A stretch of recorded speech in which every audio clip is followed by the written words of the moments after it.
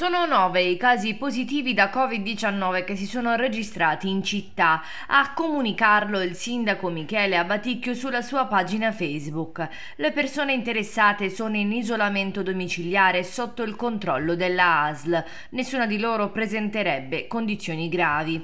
Nella situazione epidemiologica cittadina continuano a persistere però le differenze sostanziali tra i numeri comunicati dalla prefettura al nostro comune e i casi che appaiono invece colorati pubblicati sul bollettino epidemiologico regionale che inserisce la nostra città nella fascia con casi attivi tra gli 11 e i 20.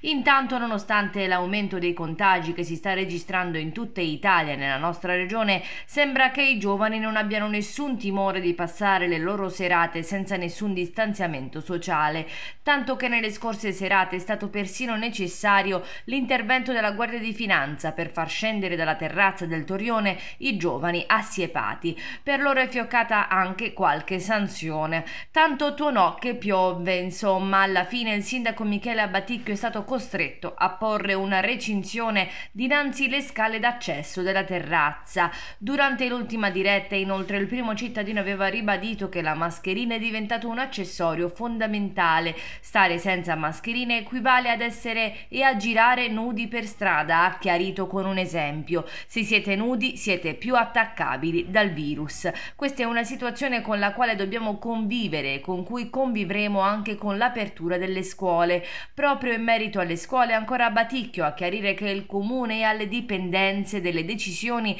del Ministero della Pubblica Istruzione. Bitonto sta facendo la sua parte, ha detto non appena saremo pronti con una comunicazione dettagliata ed esaustiva in riferimento a mense, trasporto scolastico e organizzazione delle aule, ve lo comunicheremo.